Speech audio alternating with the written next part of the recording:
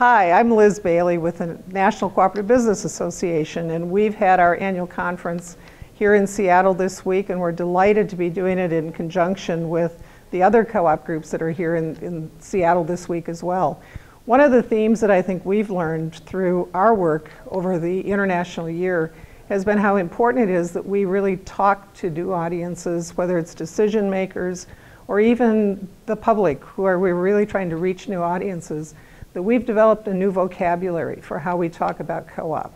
Uh, we've learned, like you probably know, that a lot of people don't know what a co-op is, but they do know about jobs, they know about economic development, they know about assets, they know about employment, they know about local impacts, and the more we can talk about co-ops in those terms to begin the conversation, we can then talk about the co-op difference of what difference that particular business makes in those local economies,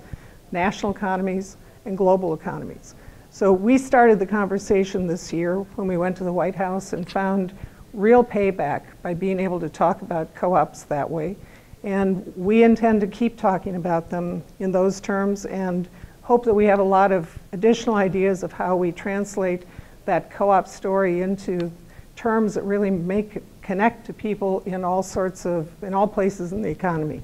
So delighted you're here in, in Seattle. Uh, hope your meeting is, good as, is as good as the NCBA meeting was, and hope we're connecting again soon.